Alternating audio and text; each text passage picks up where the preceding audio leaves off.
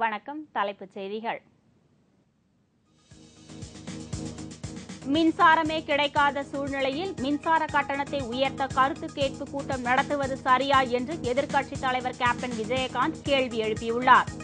மின்சார வெட்டினால் தமிழக இளைஞர்களுக்கான வேலையில்லா திண்டாட்டம் நாளுக்கு நாள் பெருகி வருவதாகவும் மின்சாரமே கிடைக்காத சூழ்நிலையில் மின்சார கட்டணத்தை அபரிமிதமாக உயர்த்த ஜெயலலிதா அரசு பரிந்துரைத்துள்ளதாக கேப்டன் விஜயகாந்த் தெரிவித்துள்ளார்.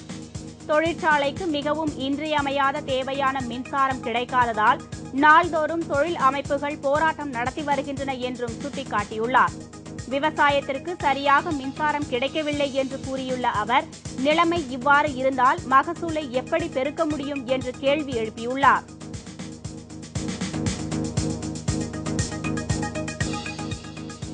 மத்திய நிதியமைச்சர் பிரணாப் முகர்ஜியை ஸ்பெக்ட்ரம் வழக்கில் சிக்கியிருக்கும் முன்னாள் நிதியமைச்சர் தயாநிதி மாறன் நேற்று திடீரென சந்தித்து பேசினார். அப்போது டூ ஜி வழக்கில் மேல் நடவடிக்கை எடுக்க வேண்டாம் என்று கோரியதாக கூறப்படுகிறது.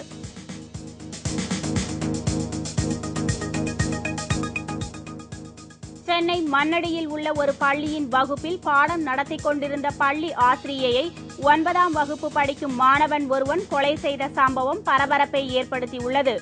மாணவனிடம் காவல்துறையினர் நடத்திய விசாரணையில் தன்னை பற்றி பெற்றோரிடம் புகார் அளித்ததாலேயே ஆசிரியையை கொன்றதாக தெரிவித்துள்ளான்.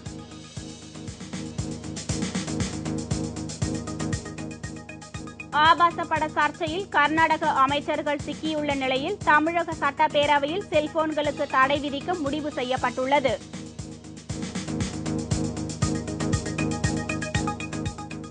உள்ளாட்சி தேர்தலில் தேர்தல் அதிகாரிகள் முறைகேடுகளில் ஈடுபட்டதற்கான சான்றுகள் உள்ளதாக திமுக தலைவர் கருணாநிதி தெரிவித்துள்ளார்.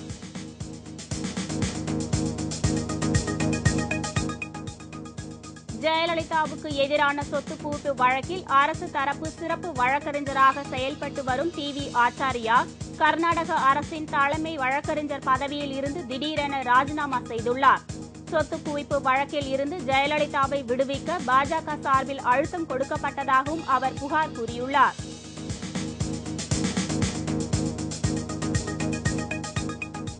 சொத்து குவிப்பு வழக்கு தொடர்பாக சசிகலா மற்றும் இளவரசி பெங்களூரு சிறப்பு நீதிமன்றத்தில் இன்று ஆஜராகினர். சசிகலாவின் தரப்பில் தமிழில் வாக்குமூலத்தை பதிவு செய்ய வேண்டும் என்ற மனு உச்சநீதிமன்றத்தில் நிலுவையில் இருப்பதால் வழக்கு வரும் பதினெட்டாம் தேதிக்கு ஒத்திவைக்கப்பட்டது.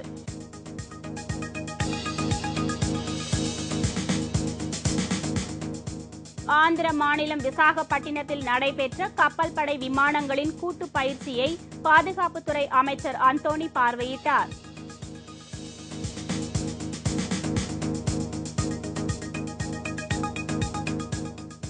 கோத்ரா ரயில் எரிப்பை தொடர்ந்து நிகழ்ந்த குஜராத் கலவரம் குறித்த அறிக்கையை சிறப்பு புலனாய்வு குழு தாக்கல் செய்தது.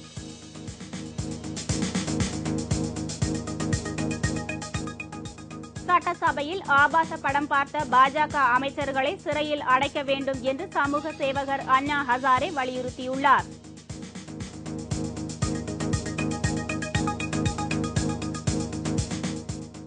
சங்கரன் கோவில் கழுகுமலை சாலையில் நேற்று முன்தினம் இரு பிரிவினரிடையே மோதல் உண்டானது. இதையடுத்து அப்பகுதியில் மீண்டும் கல்வீச்சு சம்பவம் நடைபெற்றதால் அங்கு பதற்றம் நீடிக்கிறது. போலீசார் குவிக்கப்பட்டுள்ளனர்.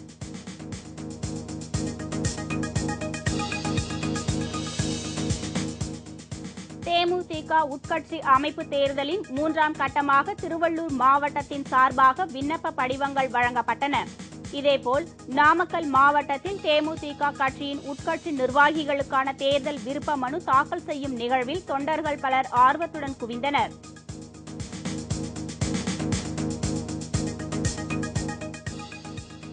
எட்டு மணி நேரம் மின்வெட்டை கண்டித்து சேலத்தில் ஆயிரத்திற்கும் மேற்பட்ட நெசவாளர்கள் மறியலில் ஈடுபட்டனர். இதனால் இரண்டு மணி நேரம் போக்குவரத்து பாதிக்கப்பட்டது.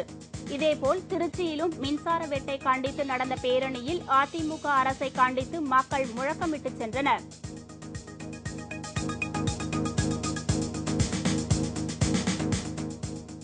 நாகர்கோவில் அருகே திருமண நிகழ்ச்சியில் கலந்து கொள்ள ஜீப்பில் சென்ற ஒரே குடும்பத்தைச் சேர்ந்த நான்கு பேர் விபத்தில் பலியானார்கள்.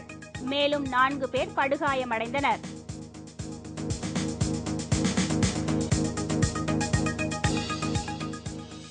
பஸ் டே கொண்டாட போலீசார் அனுமதி அளிக்காததால் ஆத்திரமடைந்த பச்சையபாஸ் கல்லூரி மாணவர்கள் சிலர் தங்களது கல்லூரி வளாகத்தில் இருந்து கற்களை வீசி எறிந்ததால் பொதுமக்கள் காயமடைந்துள்ளனர்.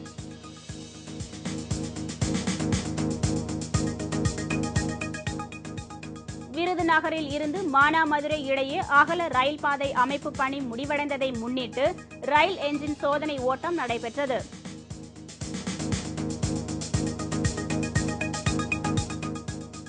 கொடைக்கானல் அருகேயுள்ள மூஞ்சிக்கல் பகுதியில் பூட்டிய வீட்டின் கதவை உடைத்து கொள்ளையர்கள் பீரோவில் இருந்த முப்பத்தி நான்கு பவுண்ட் நகைகளை கொள்ளையடித்து சென்றனர்.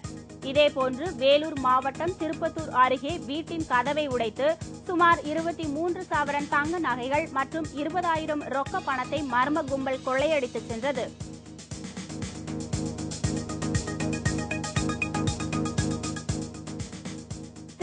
சத்திரம் பேருந்து நிலையத்தில் உள்ள மாநகராட்சிக்கு சொந்தமான முப்பத்தி நான்கு கடைகளின் உரிமையாளர்கள் ஒழுங்காக வாடகை தரவில்லை.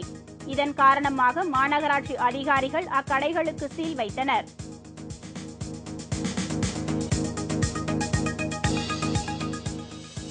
மாலத்தீவு முன்னாள் அதிபர் முகமது நஷீத் தனது குடும்பத்தினருடன் கொழும்பு தப்பியோடிவிட்டதாக அங்கிருந்து வரும் தகவல்கள் தெரிவிக்கின்றன. நீதிபதியை கைது செய்ததன் விளைவாக துப்பாக்கி முனையில் முன்னாள் அதிபர் முகமது நஷீத் பதவியை இழந்தார்.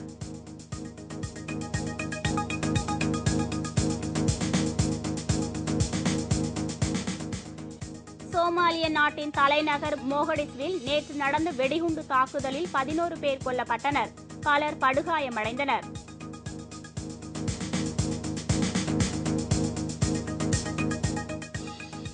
குழந்தைகள் முதல் பெரியவர்கள் வரை அனைவரையும் கவர்வது கார்ட்டூன் கதாபாத்திரம். Mickey Mouse Tom and Jerry வரிசையில் சிம்சன்ஸ் கதாபாத்திரமும் புகழ்பெற்றது அமெரிக்க தொலைக்காட்சி ஒன்றில் சிம்சன்ஸ் கார்ட்டூன் நிகழ்ச்சி ஐநூறாவது எபிசோட்டை வெற்றிகரமாக முடித்து சாதனை படைத்துள்ளது.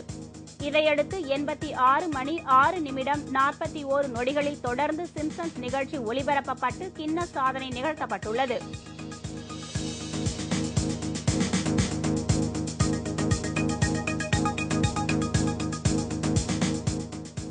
மக்களின் தேவையை நிறைவேற்றவும் எளிதில் கிடைக்கும் வகையில் புதிய எரிவாயுவை கென்யாவை சேர்ந்த ஒரு நிறுவனம் அறிமுகப்படுத்தியுள்ளது. இதற்கு அந்நாட்டு மக்களிடையே நல்ல வரவேற்பு கிடைத்துள்ளது.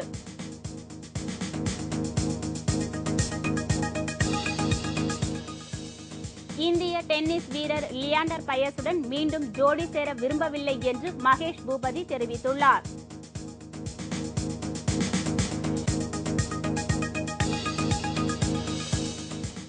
பட்டாய நகரில் நடைபெற்ற ஓபன் டென்னிஸ் தொடரின் ஒற்றையர் மற்றும் இரட்டையர் காலிறுதிப் போட்டிகளுக்கு இந்திய நட்சத்திர டென்னிஸ் வீராங்கனை சானியா மிர்சா தகுதி பெற்றுள்ளார்.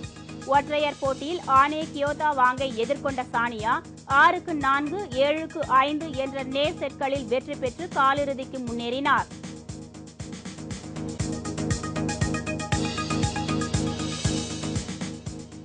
இந்தியா ஆஸ்திரேலியா இலங்கை மோதும் முத்தரப்பு ஒருநாள் கிரிக்கெட் போட்டி ஆஸ்திரேலியாவில் நடைபெற்று வருகிறது. இந்நிலையில் ஆஸ்திரேலிய இலங்கை அணிகள் மோதும் ஒருநாள் கிரிக்கெட் போட்டி நாளை பெர்த்தில் நடைபெறுகிறது. இதற்காக இரு அணி வீரர்களும் தீவிர வலைப்பயிற்சியில் ஈடுபட்டு வருகின்றனர்.